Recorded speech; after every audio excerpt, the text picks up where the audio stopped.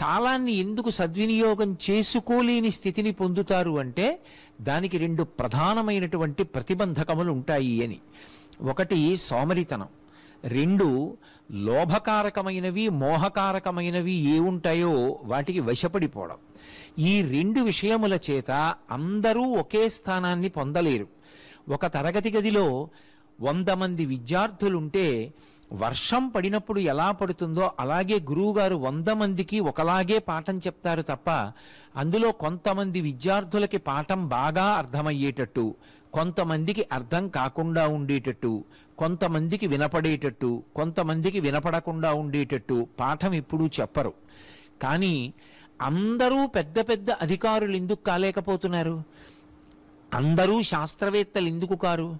అందరూ కొన్ని కోట్ల మందికి ఆదర్శప్రాయులుగా ఎందుకు బ్రతకలేకపోతున్నారు? అంటే గురువుగారు చెప్పినటువంటి పాఠాన్ని పరమశ్రద్ధాభక్తులతో వింటున్నవాడెవడు? ఆ కాలాన్ని సద్వినియోగం చేసుకుంటున్నవాడెవరు? ఆవు పాలు పితకడం గొప్ప కాదు. ఆవు పాలు పితికేటప్పుడు రెండు మోకాళ్ళ మధ్యలో పెట్టుకున్నటువంటి పాత్ర ఆ ఆవు యొక్క శిరముల క్రిందకే ఉన్నదా లేదా? శిరముల నుండి స్రవిస్తున్నటువంటి పాలు ఒక చుక్క కూడా పక్కన పడకుండా కుండలోనే పడుతున్నాయా లేదా? అన్న విషయంలో జాగ్రత్త పడినవాడెవరో వాడే ఆవు పాలు పితకగలిగినటువంటి వాడు కేవలం కుండ మోకాళ్ళ మధ్యలో పెట్టుకుని ఎవరి వంకో చూసి మాట్లాడుతూ శిరములు పట్టుకు లాగితే ఆ పాలు నేలపాలైపోతాయి. గురువుగారి దగ్గర కూర్చుని వింటున్నప్పుడు తదేక దృష్టితో ఆయన చెప్తున్నటువంటి మాటలను మాత్రమే పట్టుకుని చెవులనేటటువంటి కుండలోకి ఆ పాలని పితుక్కుంటున్నవాడెవరో వాడు మాత్రమే ధన్యాత్ముడు. ఏ కాలమునందు ఏ పని చెయ్యాలో ఆ పని చెయ్యాలి. ఎవడు తరగతి గదిలో అలా కూర్చోగలడో వాడే సమున్నత స్థానాన్ని పొందుతాడు. ఏ కాలమునందు ఏ పని చెయ్యాలో ఆ పని చెయ్యాలి. ఎవడు తరగతి గదిలో అలా కూర్చోగలడో వాడే సమున్నత స్థానాన్ని పొందుతాడు. తరువాత కాలమునకు ప్రతిబంధకము ఆకర్షణీయమైనటువంటి విషయాలు. మనసుని లోభ పెడతాయి మనసుని మోహ పెడతాయి చూడండి ఏదో ఇవాళ ఇది చదువుకుందాం ఒక గంట సేపు అనుకుంటాడు. కానీ ఈలోగా ఓ క్రికెట్ మ్యాచ్ వస్తుంది. లేకపోతే ఏదో తనకిష్టమైనటువంటి సినిమా ఒకటి వస్తూ ఉంటుంది లేదా తనకిష్టమైనటువంటి ఒక నటుడితోటి ఏదో ఒక ఇంటర్వ్యూ ప్రసారం అవుతూ ఉంటుంది అతను తర్వాత చదువుకుందామని చెప్పి దీన్ని చూస్తూ కూర్చుంటాడు. కాలం అయిపోయింది. ఇక ఆ కాలము తిరిగి రాదు. అందుకే కాలాన్ని యమునా నదితో సంకేతిస్తారు. కాలానికి ముందుకు వెళ్ళడం తెలుసు తప్ప కాలాన్ని వెనక్కి తీసుకురాగలిగిన శక్తి లేదు. అది వెనక్కి తిరిగి రాదు. వెనక్కి తిరిగి రాదు కాబట్టి వెళ్ళిపోయిన కాలం వెళ్ళిపోయింది. ఇలా ప్రతిరోజు ఏదో ఒక కారణానికి ఆకర్షితుడై ఏది చెయ్యాలనుకుంటున్నాడో అదొక్కటే చెయ్యడు. ఏది నేను చెయ్యాలని సంకల్పం చెయ్యడో అది మాత్రం చేస్తూ ఉంటాడు.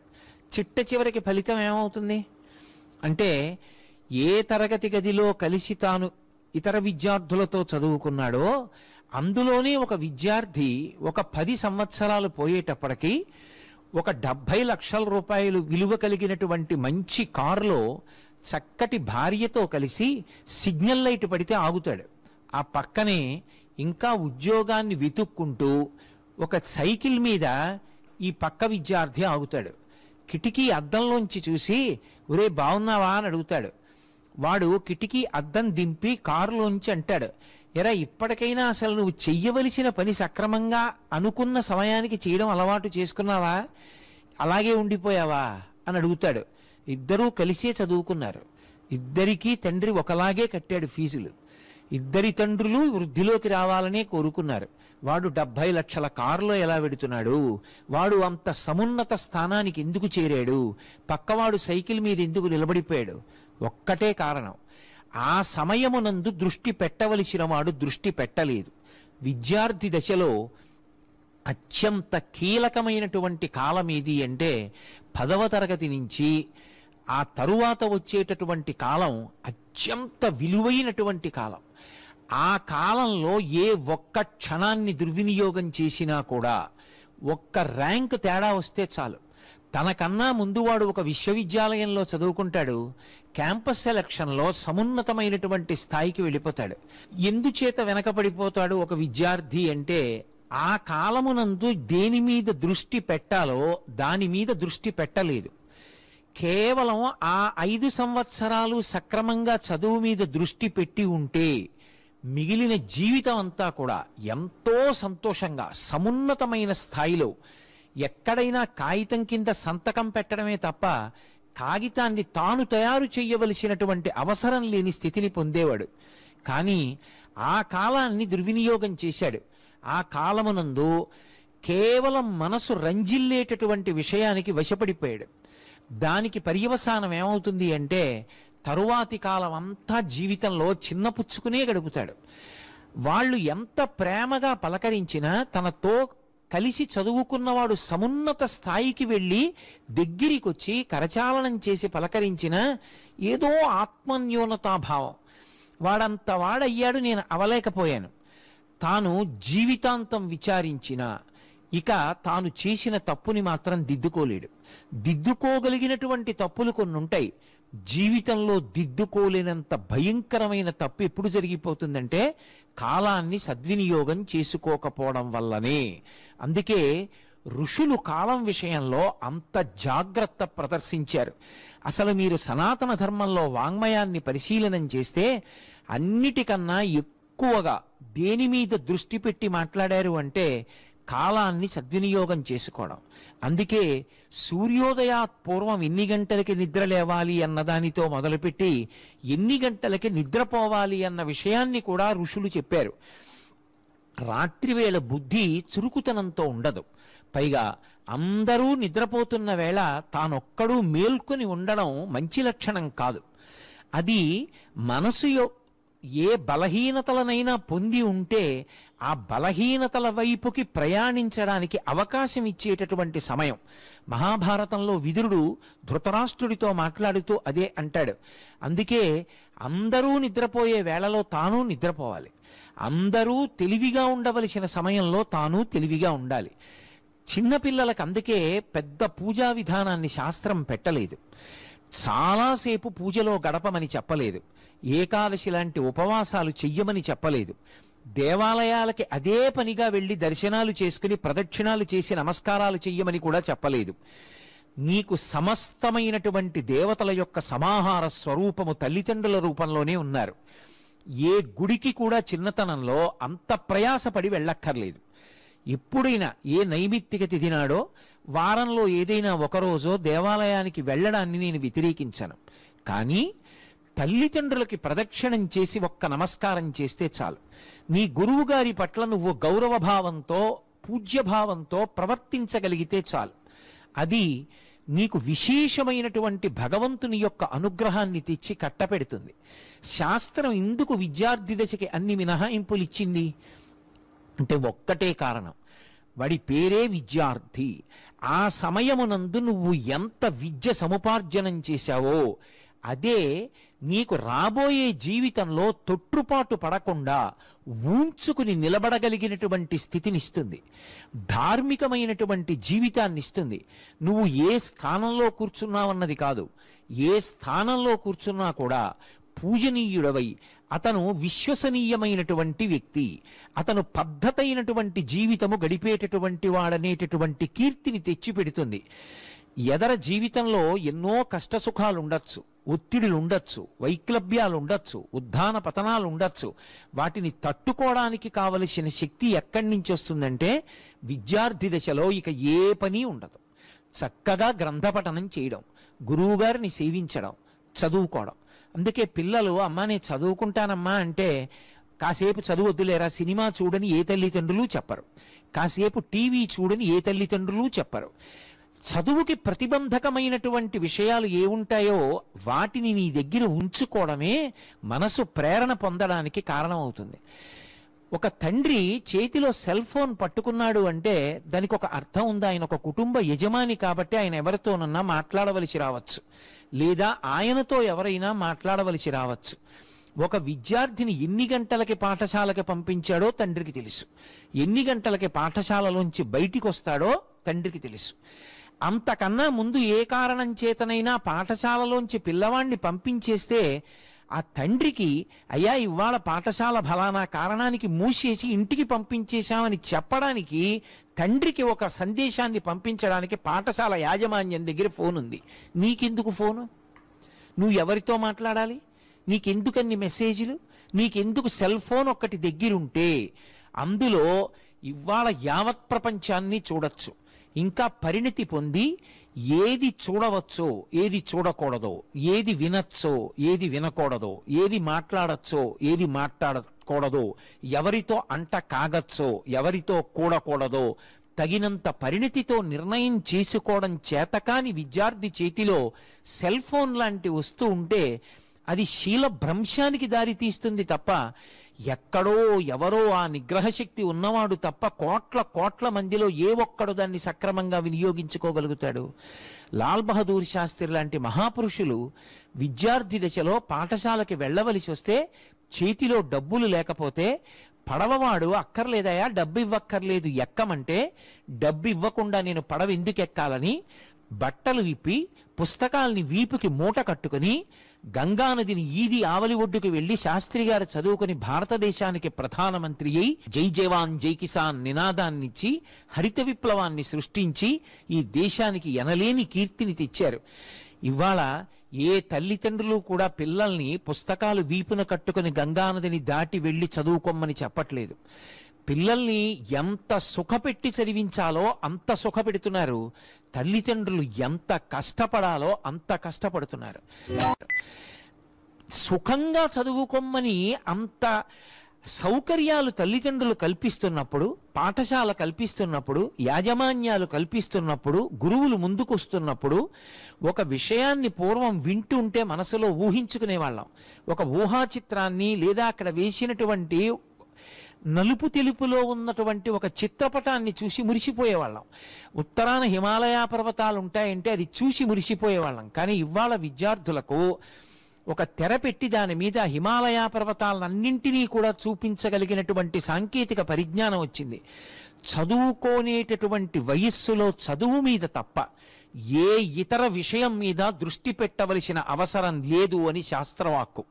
చదువుకునేటటువంటి పిల్లలకి చదువు చెప్పడం వినా అసలు వాళ్ళని చదువుకోండి అన్న ఒక్క మాట తప్ప పెద్దలైన వారు తద్భిన్నమైనటువంటి ఏ విషయాన్ని వాళ్ళకి బోధ చెయ్యకూడదని తద్భిన్నమైన ఏ విషయంలోకి విద్యార్థుల్ని లాగకూడదని వాళ్ళ జీవితంలో ఆ కాలం పాడైపోతే ఇక ఎవరూ తెచ్చిపెట్టి ఇవ్వలేనటువంటిది.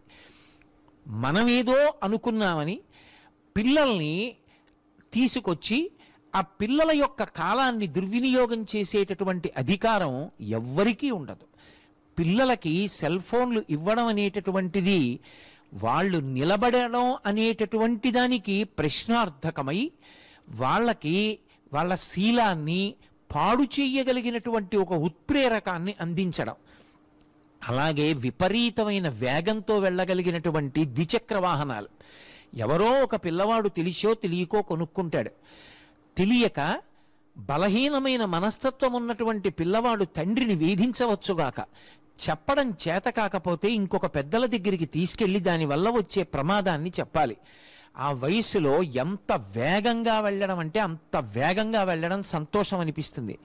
కానీ జీవితంలో ఏది సాధించాలన్నా శరీరానికి ఆరోగ్యం ఉండడం అనేటటువంటిది అత్యంత అవసరం.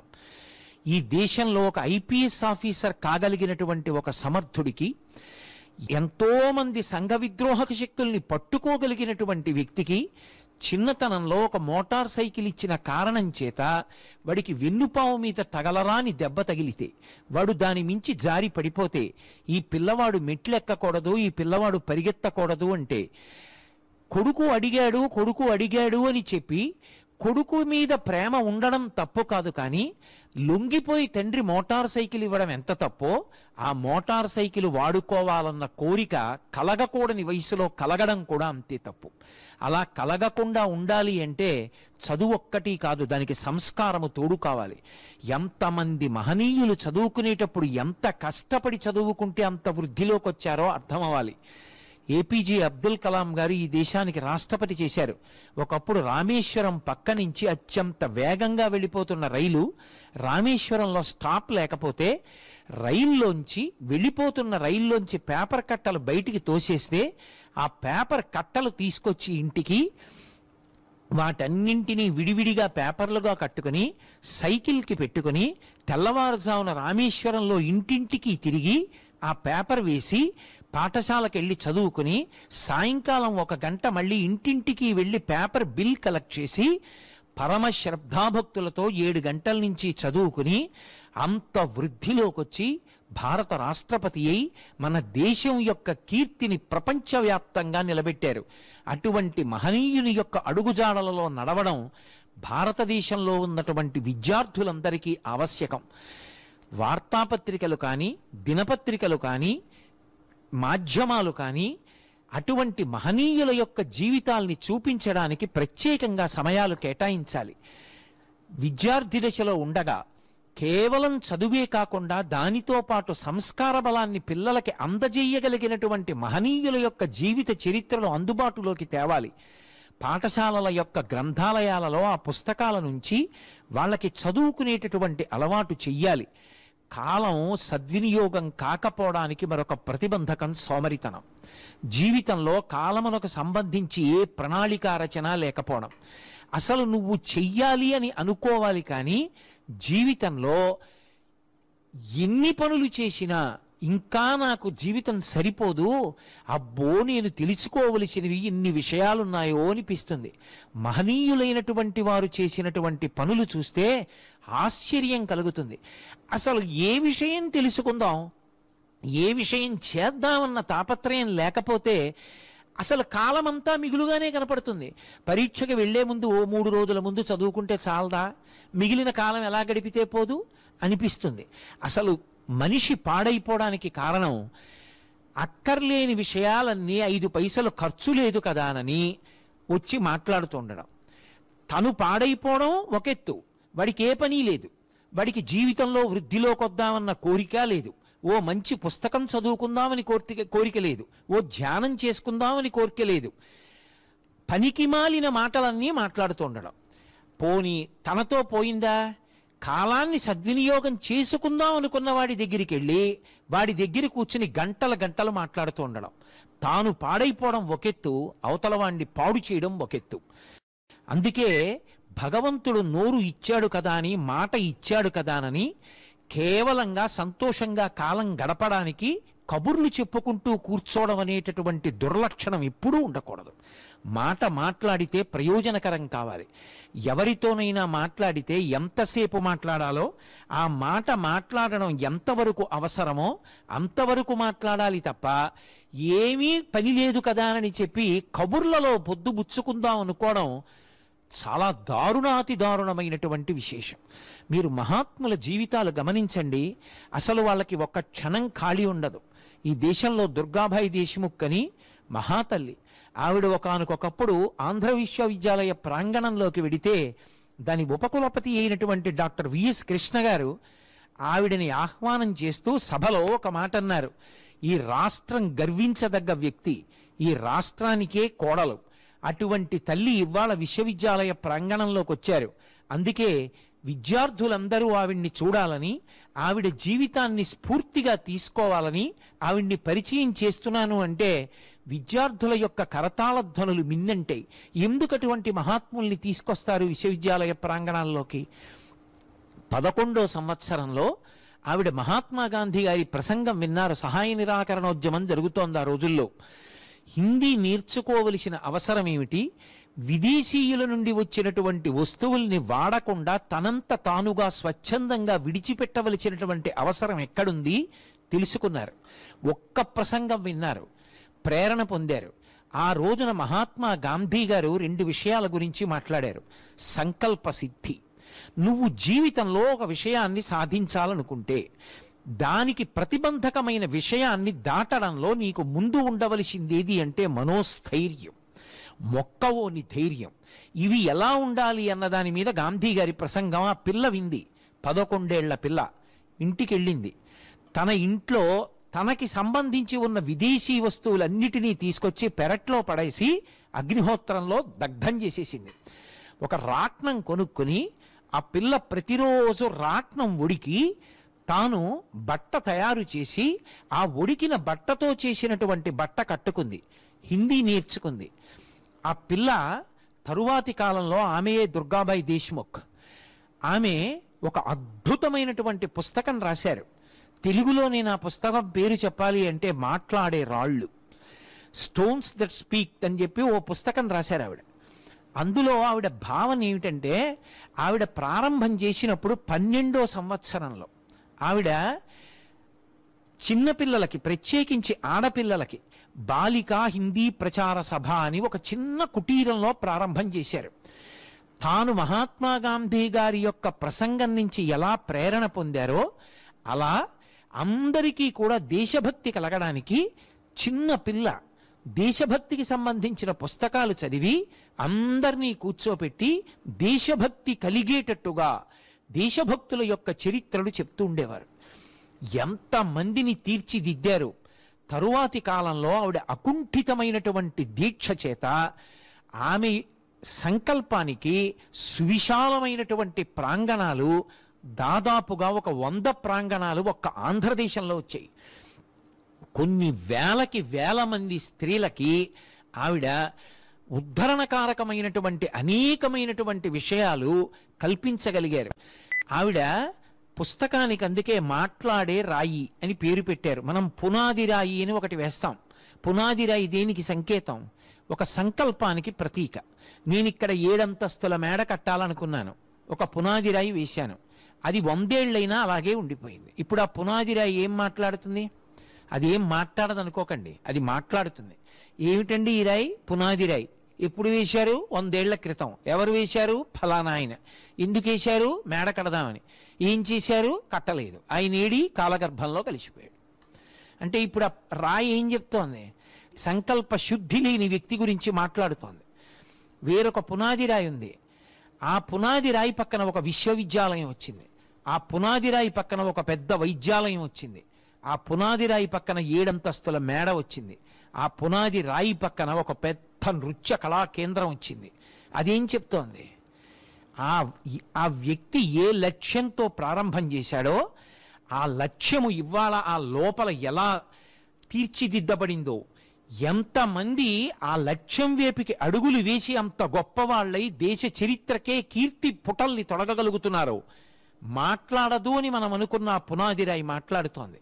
ఆవిడ పుస్తకానికి పెట్టుకున్న పేరది మాట్లాడుతున్న రాళ్ళు.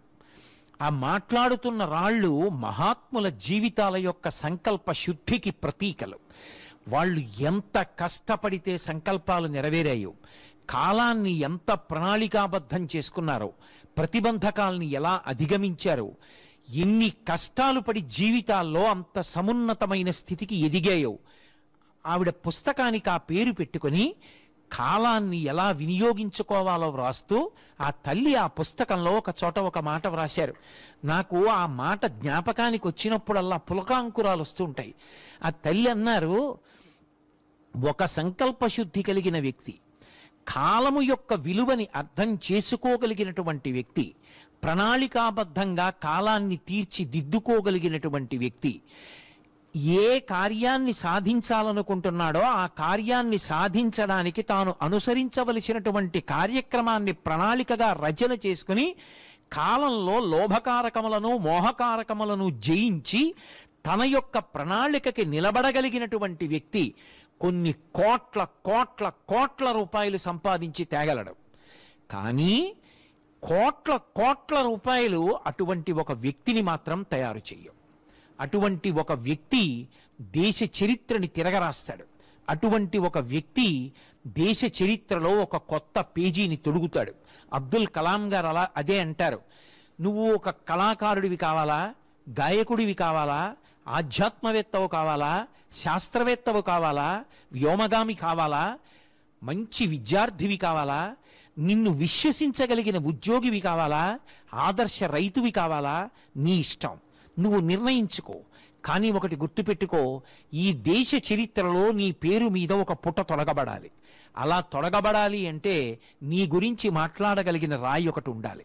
ఆ రాయి నీ గురించి మాట్లాడాలి అంటే నీ జీవితం కాలము యొక్క విలువని తెలుసుకున్నదై ఉండాలి. అన్ని రాళ్ళు మాట్లాడవు.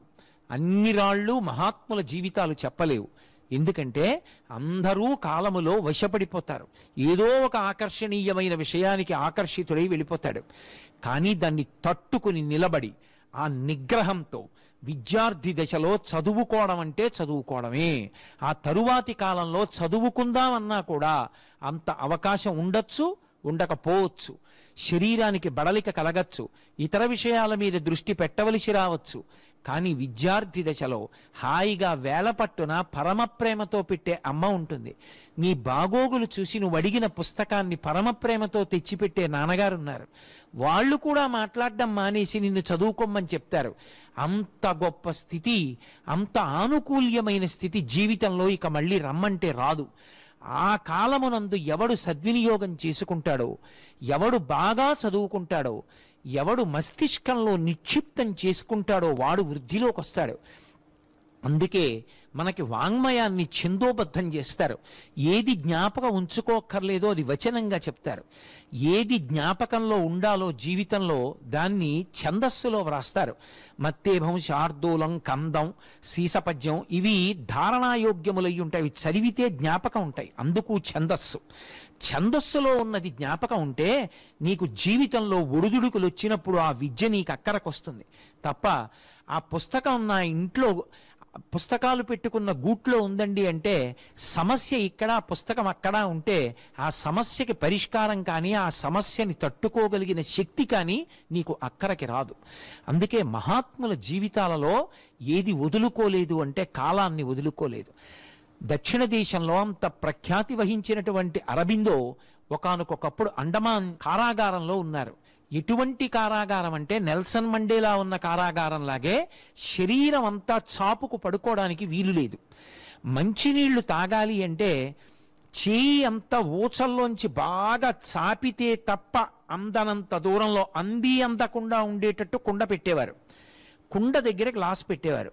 మంచినీళ్ళు కావాలంటే గ్లాసు ఊచల్లోంచి చెయ్యి బాగా పెట్టి గ్లాస్ అందుకుని కుండలో పెట్టి నీళ్ళు తీసి గ్లాసు చివరి భాగమే అందుతుంది. పరమ జాగ్రత్తగా గ్లాసుని దగ్గరికి తెచ్చుకోవాలి. గ్లాసు చెయ్యి చారి పడిపోయిందా? మళ్ళీ మరునాడు మరుగుదొడ్లు తుడవడానికి ఒక వ్యక్తి వస్తాడు మాట్లాడడం.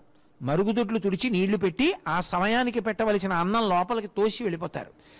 చాలామంది ఆ నిశ్శబ్దాన్ని భరించలేక మాట మాట్లాడే మనిషి లేక పిచ్చెక్కిపోయి పెద్ద పెద్ద అరుపులరిచి పక్కనున్నటువంటి గదుల్లోనే మరణిస్తుంటే ఆ మరణించినటువంటి స్వాతంత్ర సమరయోధుల్ని శరీరాలు పట్టుకు తీసుకెళ్ళి సముద్రంలోకి విసిరేసేవారు.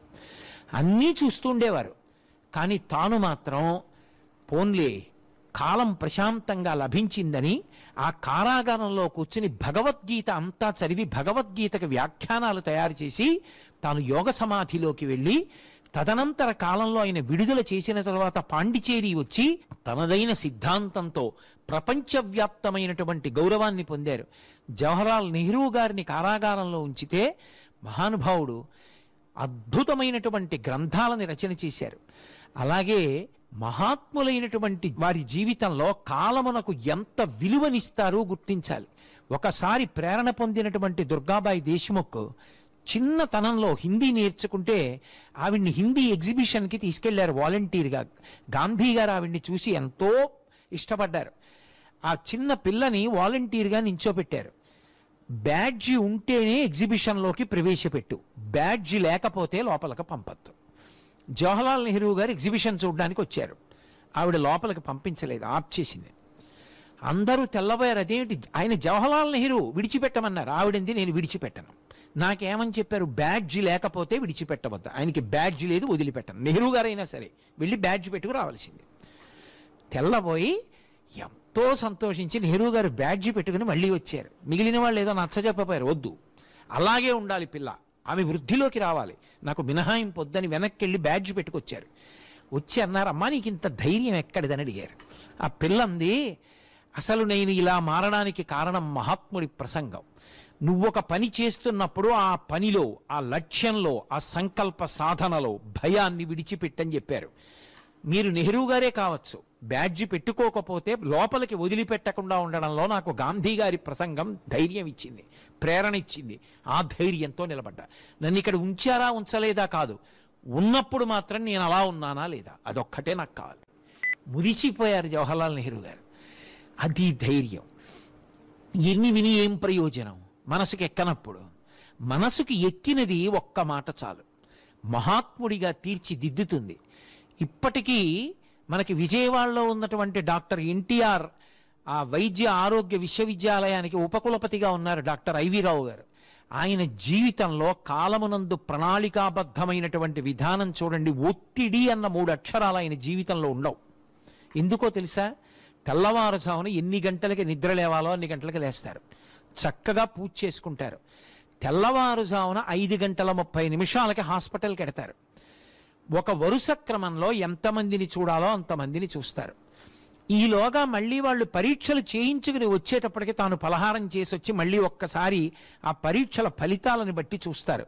కేవలం ఆ ఫలితాలు చూడడం కాదు ఇప్పటికీ కూడా అసలు క్లినికల్ టెస్ట్ వచ్చిన పేషెంట్ని కూర్చోపెట్టి ఆపాదమస్తకం జాగ్రత్తగా పరిశీలనం చేసి వచ్చిన రిపోర్టు ఆ రోగి యొక్క స్థితి రెండూ సమన్వయం అవుతున్నాయా లేదా తన బుద్ధితో నిర్ణయం చేసుకుని మందు రాస్తారు.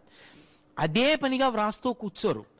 వ్రాసేటప్పుడు కూడా సమయాన్ని ఎంత పొదుపు చేస్తారంటే ఇత క్రిందటి నెలలో ఐదు మందులు రాస్తే ఈ నెలలో మళ్ళీ వస్తే మళ్ళీ ఐదు మందుల పేర్లు వ్రాయరు. ఒకటి రెండు మూడు నాలుగు ఐదు వేస్తారు.